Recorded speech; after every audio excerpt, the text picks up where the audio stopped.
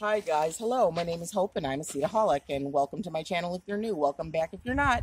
I mentioned I was going to talk about this big bed that my wonderful cameraman and husband made for me this summer. You saw him building these two out and this one I tried to do some winter growing. I'm not great at it yet, but I'm learning. But one of the things I've learned is I've got some cabbage. It looks a little rough right now. I've got some kale there, some scarlet. This is a cabbage. I forget what kind.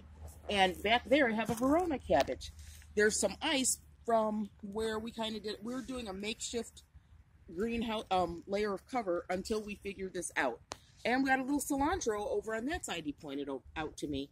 So it's not looking perfect but we do know that broccoli cabbage and kale will survive here in zone 5b chicago. I'm going to get that little floret of broccoli. It's not a true crown at all but I'm going to get it and we're going to eat it just so we can be encouraged to keep growing in the winter. And I'm doing this winter gardening series to encourage each and every one of you to keep growing too. Doesn't matter what zone you're in. One of the things that Mr. Coleman's book says is if you add one layer of cover, that takes you 500 miles to the south.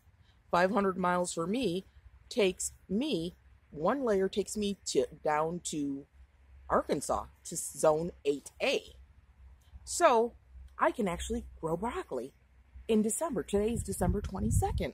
I can grow cilantro. I can grow kale and cabbage, and you can too. So I just want to encourage you to give it a try. Nothing beats a failure but a try.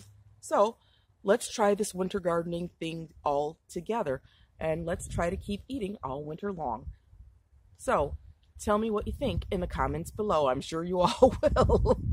and be encouraged and as always, blessings of bounty to you and yours in this and every gardening season. Just so you guys know, remember, winter is now a gardening season. See you guys next time.